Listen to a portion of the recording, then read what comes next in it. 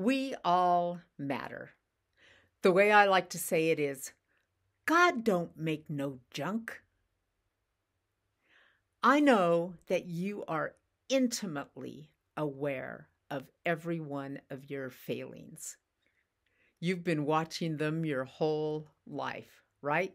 You're going to take off today and you are going to do a couple of more dumb things, right? You're going to make some sort of silly little mistake. You're going to say the wrong thing. You're going to trip over something. You're going to put something in the wrong place. You're going to walk into the kitchen and not know why you went in there. Probably to get something to eat, but you know, who am I to say? God don't make no junk. You matter. We wouldn't be here if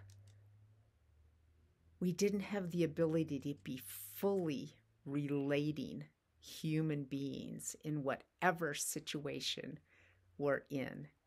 One of the best ways to see this is that no matter who you are, no matter how little you own, or whatever your problems are, you can always help somebody else. Sometimes just a smile can just be the most uplifting thing for somebody. You never know when your smile as you're walking down the street is going to be the exact thing that somebody really needed in that moment. You never know.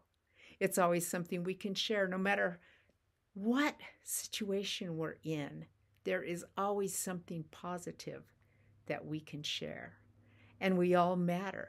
And this is why non duality studies are so important because the more you get rid of your attachment to the constant negativity of your mind, the more you can really be engaged in life and really find that niche where your contribution really, really matters.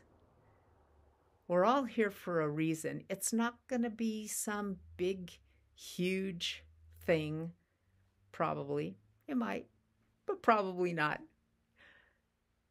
But that little tiny thing, that's the thing that makes the whole of humanity work as a living unit.